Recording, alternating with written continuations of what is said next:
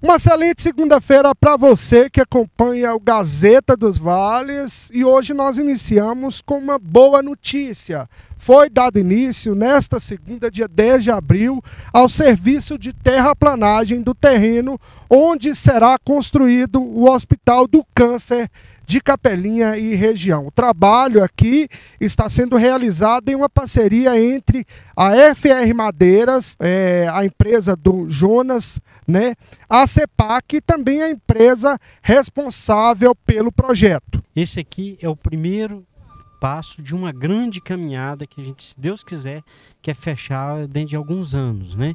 Isso é uma coisa muito emocionante, uma coisa que falha a gente até palavras para poder contar essa história. Que se Deus quiser, será levantado nesse espaço aqui um grande hospital no futuro. Doutor, é, esse hospital daqui, ele pretende atender é, quantas cidades na região? Você já tem um levantamento?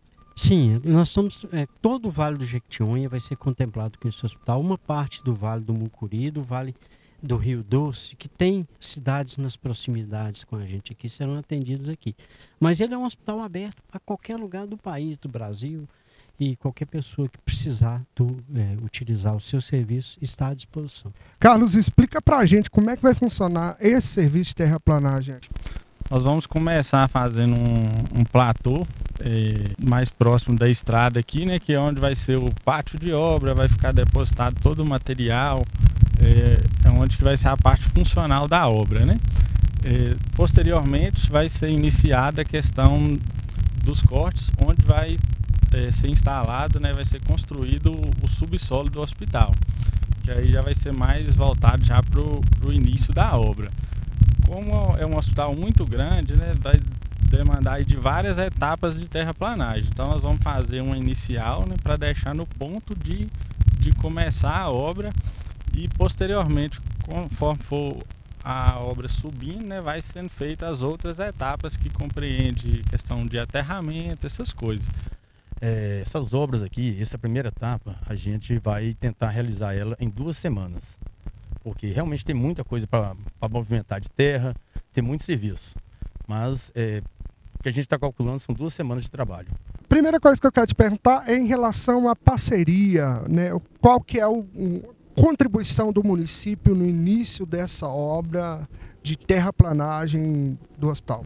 Hélio, primeiro eu queria parabenizar aqui o doutor Edson, a Mônica, que estão tomando frente desse grande projeto. E é um projeto que não só para o município de Capelinha, mas até para o Vale de Jequitinhonha e para o Estado vai fazer uma grande diferença.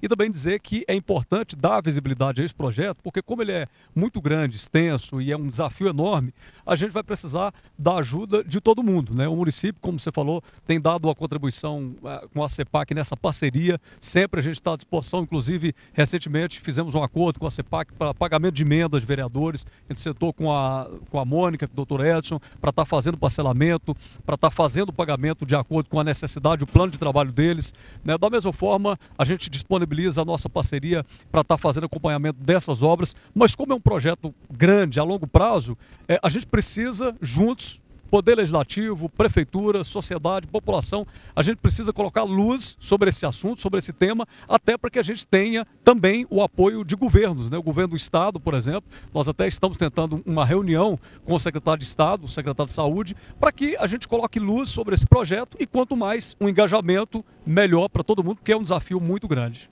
Jonas, é, fala um pouquinho da, dessa parceria sua, né, do que, é que você está disponibilizando agora nesse início para essa terraplanagem? Está disponibilizando uma escavadeira, né? Uma pá carregadeira, dois caminhão basculante, um caminhão pipa e uma patrol. Você também está sonhando com a construção desse hospital, né, João? Muito, cara. Para mim isso é um sonho, não tem preço isso aqui não. Isso é para mim é a coisa mais importante que surgiu na minha vida, sinceramente.